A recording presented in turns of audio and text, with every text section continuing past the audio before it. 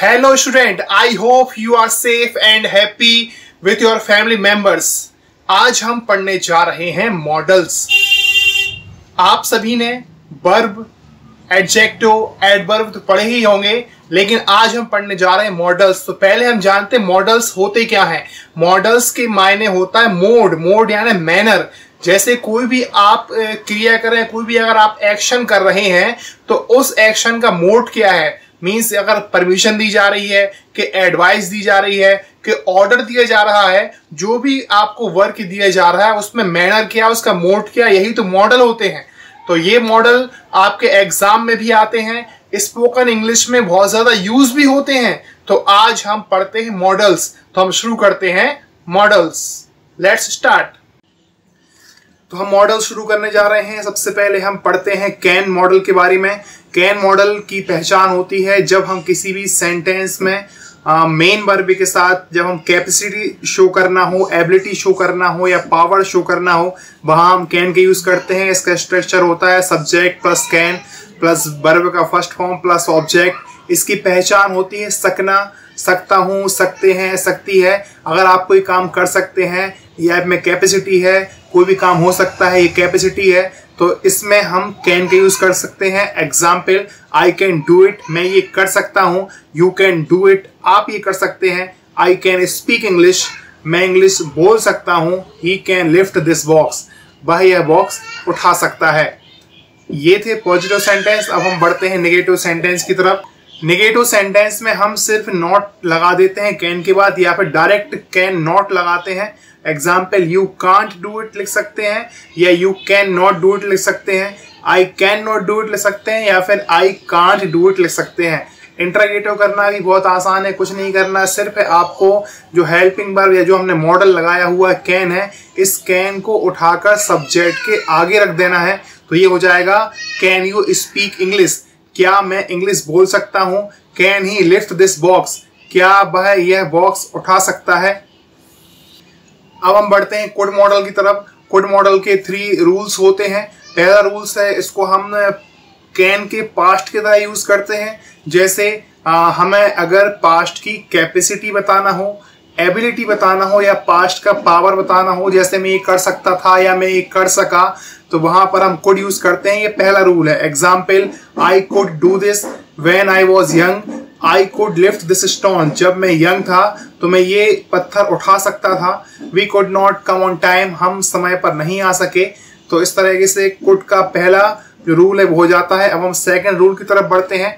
Second rule में जब हम किसी से कोई पोलाइट रिक्वेस्ट करते हैं तो वहाँ हम कुड का यूज़ कर सकते हैं। जैसे could you lend me some money क्या आप मुझे कुछ पैसा दे सकते हैं?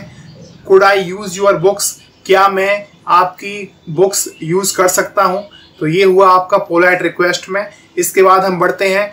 कुड हैव रूल जो थर्ड है, इसमें हम कुड हैव यूज़ कर सकते हैं। कुड हैव में वर्ब का थर्ड फॉर्म यूज़ करते हैं। इसकी पहचान होती है, सकता था, सकते थे, सकती थी।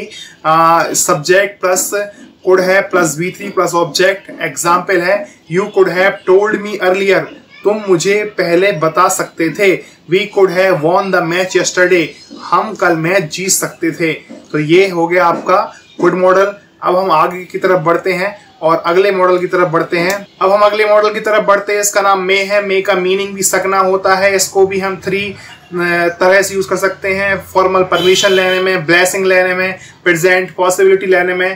पहला रूल है फॉर्मल परमिशन आपने अक्सर स्कूल में ये बोला होगा, मैं एक कम सर क्या मैं अंदर आ सकता हूँ? तो इसमें परमिशन मांगते हैं तो मे यूज़ कर सकते हैं। जवाब में आपको यस यू में कम मिल सकता है, या फिर यस यू कैन कम ये आपको जवाब मिल सकता है। अगला क्वेश्चन है कि may I ask you a question क्या मैं आपसे क्वेश्चन कर सकता हूँ? जब कभी भी आप किसी अपने से बड़े से कोई परमिशन मांगते हैं तो हम मे का यूज़ कर सकते हैं। ये आपका पहला फॉर्मल रूल है।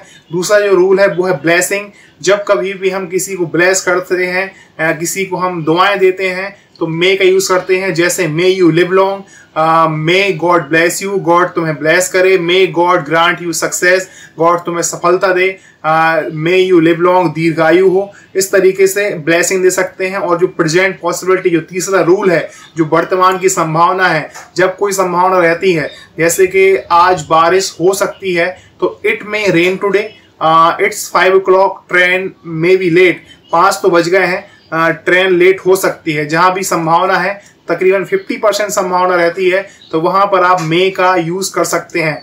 अब हम अगला जो मॉडल है, उसकी तरफ़ बढ़ते हैं। अगला मॉडल है, वो है माइट माइट भी मे का पास्ट होता है जहाँ जहाँ हम मे यूज़ कर रहे हैं। अगर पास्ट टेंस में यूज़ करना है वहाँ माइट यूज़ करते हैं और मे माइट में बहुत ही कम संभावना होती है। जैसे मैंने बोला था कि वर्षा हो सकती है फिफ्टी परसेंट संभावना है, लेकिन अगर मैं बोलूँ बरसात हो ही नहीं सकती है, बहुत ही कम चांस है बरसात होने के ट्वेंटी फाइव परसेंट चांस है तो वहाँ हम माइट यूज़ कर सकते हैं। एग्ज़ाम्पल ही माइट भी कम हो सकता है, वो आए।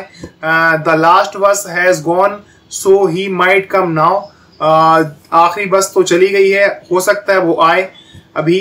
There are very few cloud so it might rain यहाँ बहुत ही कम बादल हैं आसमान में। हो सकता है कि बारिश हो। तो इस तरीके से आप माइट का यूज़ कर सकते हैं। हम इतने ही मॉडल पढ़ते हैं ये पार्ट वन है। पार्ट टू में हम बाकी के मॉडल्स पढ़ेंगे।